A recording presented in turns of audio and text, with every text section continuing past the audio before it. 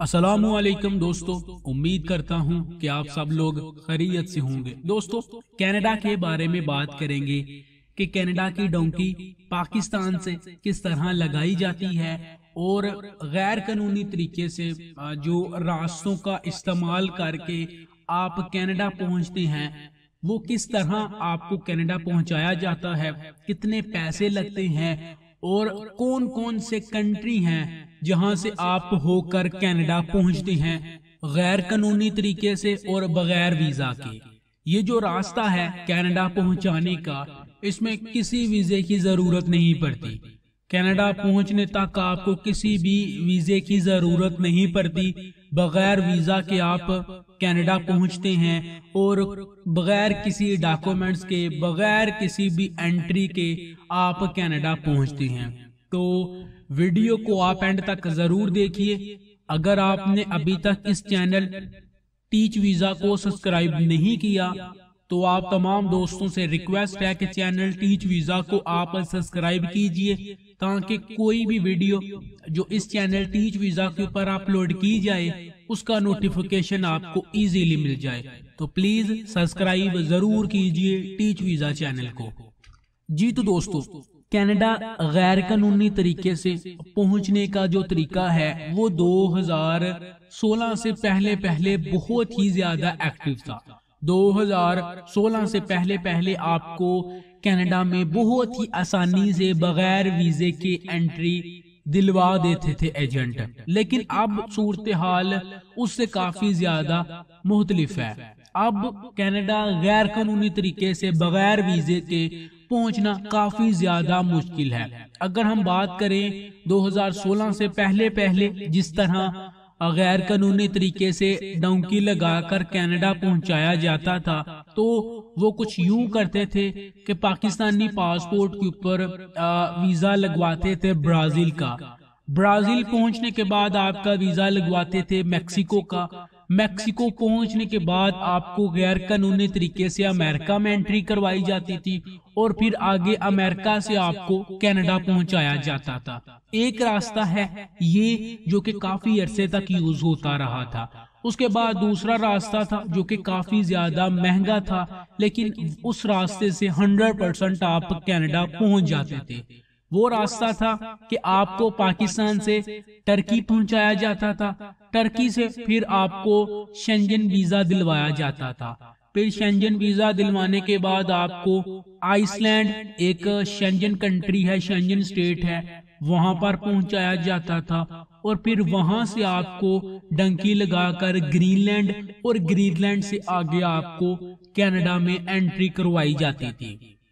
ये जो रास्ता था इसमें काफ़ी ज़्यादा पैसे लगते थे लेकिन ये है कि जितना भी सफ़र है वो सारा आप बाय ईयर करते थे जहाज़ में बैठकर करते थे।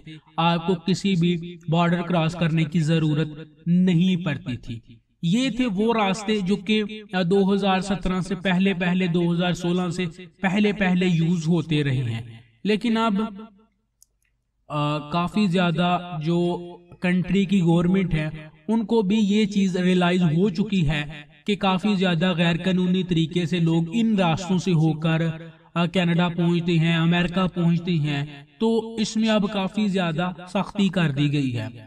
तो अब जो रास्ता यूज़ करते हैं कनाडा पहुँचाने के लिए mostly Pakistani agent Indian agent Iran के एजेंट और भी किसी भी कंट्री से लोग जाते हैं तो मोस्टली यही रास्ता यूज़ किया जाता है। पाकिस्तान से आपको दुबई भेजा जाता है। दुबई से फिर आगे साउथ अमेरिकन कंट्री में से किसी भी एक कंट्री का वीज़ा दिलवाया जाता है।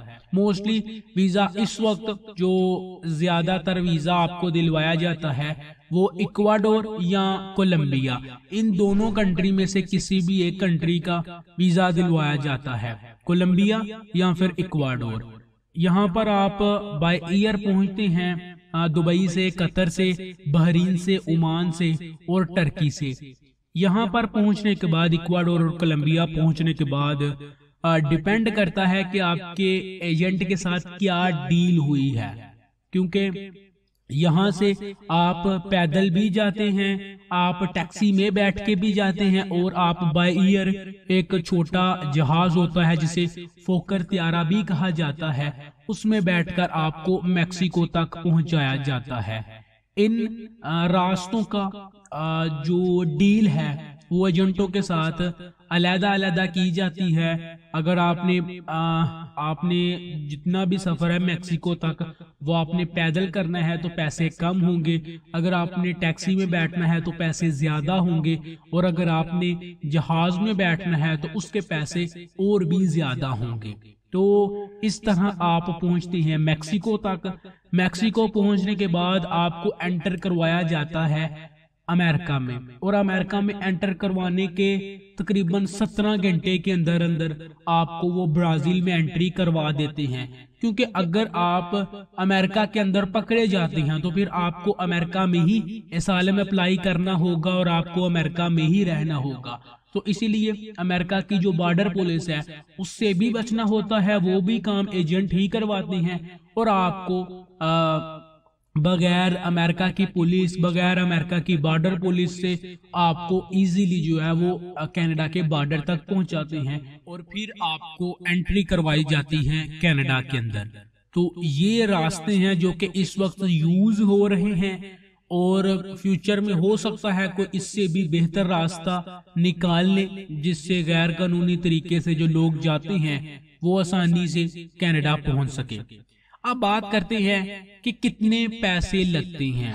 ये जितना भी प्रोसीज है इसके कितने पैसे लगते हैं। मोस्टली जितनी भी डंकी है, यूरोप की लगा लें, ऑस्ट्रेलिया की लगा लें, कनाडा की, अमेरिका की, कोई भी अगर एजेंटों की डील होती है तो मोस्टली वो डिपेंड करता है डॉलर के रेट के ऊपर।